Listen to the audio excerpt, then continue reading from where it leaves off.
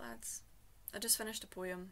It hurt to write and it'll hurt to read, but it would be pretty hypocritical of me to be sitting here going, be open and honest with your feelings, and then I'm not open and honest with mine, so here we go. This one's called 40 Seconds. Put 40 seconds on the clock.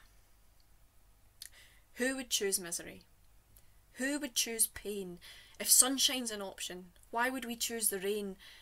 We just want to be happy and healthy and free. I just want to exist and let myself be me. Yet something within me is making me cry.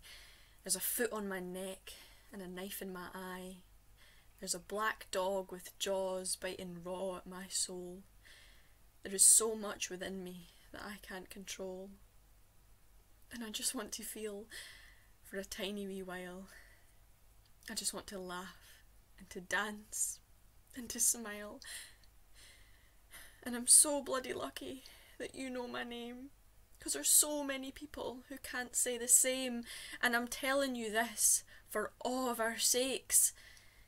It's one every 40 seconds that suicide takes. And since you've been here watching, and I've sat and cried, another good person has just bloody died. Stop the clock.